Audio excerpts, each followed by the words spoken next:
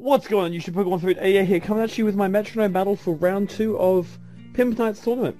So as you can see, I've got a different style going on here. Just going through my team quickly just so you can see that they're all quirky as requested, no abilities, and they all know Metronome with unlimited PP. So I've got a pretty good lineup of Dragonite, Vespiquen, only because it's Vespiquen, and it's hilarious, Wailord, Snorlax, Vanilluxe, and of course Moltres. Only restrictions were no Ubers. And um, Moltres, last I checked, wasn't an Uber. So... And neither is Dragonite. And as it's Metronome, anything can happen. So I'm battling in this tournament Bone Master. So he has a Typhlosion, a Spirit Spiritomb, a Ditto, an Ursaring, a Fearow, and a Snorlax. So this is a very, very interesting Metronome battle. This is post-commentary, might I add. So this awkward white screen, yep. So here's Bone. Now what happens partway through this battle is he disconnects. And because we were communicating via Skype, I said, okay, I don't want to just take a free match win. So at, some point you'll see us um, it will just freeze and return with um the video again. But that that's to be expected because if this went seamlessly, well, that wouldn't be expected. So it was an error on his part, so we just resumed with Pokemon at full health, except the Pokemon that had fainted at that point, which I'm not going to spoil. So, um, Mascot gets hit with a rock type attack, and then Snorlax uses Simple Beam, which I thought was quite funny because it actually gives Moltres an ability. And then we use Mist, which is hilarious. And that comes into consideration in a couple of seconds here. So his Typhlosion uses Metronome, he uses Water Pulse, I'm like, what are you on? But it hits Mascot because logic. My Moltres uses it and uses Whirlpool, but luckily his Typhlosion missed.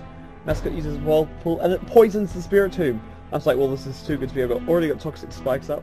Spiritomb then uses Air Slash.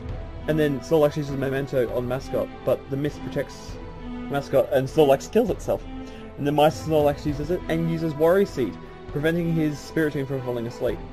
Which is quite funny that in the battle with no abilities, two of our Pokemon obtain abilities. So he brings out his Fearow, and then we're communicating, please stand by. And then it uses Pin Missile on my Phoenix, which doesn't do very much, even though there was a crit there. He uses Magnet Bomb on Moltres, which doesn't do much, luckily. And then I use Rock Polish, which is incredible, so I'm very happy that Phoenix has plus speed, plus mist, plus a few other nice things. And then the Spiritomb uses Rage, and then I use Acrobatics. What the fudge? How the hell does this all actually use Acrobatics? um, so Phoenix and everyone uses Acro... Um, what is it? Metronome again, that's the one. And Steamroller, which I think was quite funny because of the plus speed we go fast. And it uses gravity, which I thought, oh, cool, this is awesome. Um, Rain Dance, which I think that Typhlosion just secretly wants to be a water type. I use Rollout, which does considerable amount of damage, well, will do considerable amount of damage against it. The um, Spiritomb pulls off its facade, and because of the poison, knocks out my Snorlax, and then it knocks itself out. Now that's the point when the video crashed, not the video, the game crashed, so we resumed without, I didn't have my Snorlax, and he had Snorlax and Spiritomb fainted. So it's 4 verse 5 now, and everyone's at full health, no stats, no nothing. And his Pokemon he chose to bring out was Ursaring, and I chose to bring out my Wailord as my extra Pokemon. The Balloon! So I use Power Gem and do some damage, which to hit the Fearow though. It uses Shadow Claw on my Phoenix, no, not Phoenix. Wailord decides to use Constrict, because logic.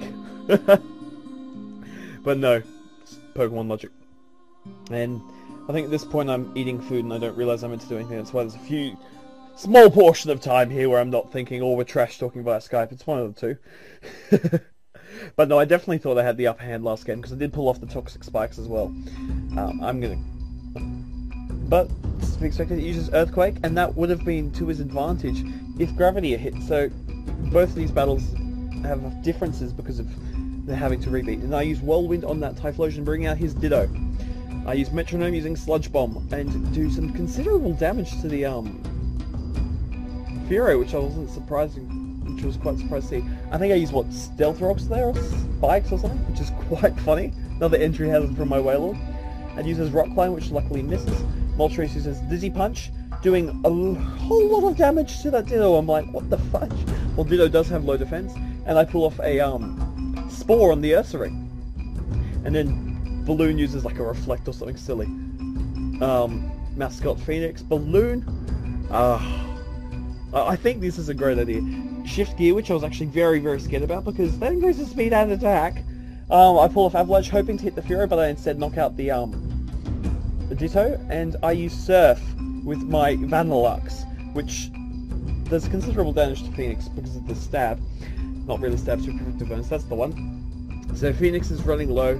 I don't want it to die because you know Moltres is my soulmate and so is Vanilluxe. but uses Shadow Sneak on my mascot, then uses Discharge, hitting Moltres and Balloon and Fearow, knocking Moltres and Fearow out, but Balloon is a very defensive Pokemon and survives it. Mascot then uses Giga Impact, because, and then Balloon decides to peck the Typhlosion. So I bring out Lady Lizard, because they're all girls, my Pokemon. So it's Lady Lizard the Dragonite. Um, Vanilluxe is unable to do anything this turn because it's charging from its Giga Impact. Lady Lizard uses Wrap.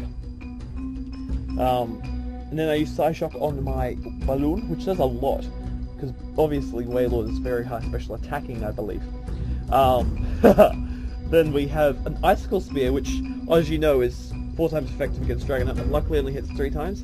I'm then able to pull off a stabbed Twister, and then my mascot, which is Healing Wish, which is hilarious, because I could then bring out something else which had any damage done, but obviously I had nothing, so Vanilluxe killed itself.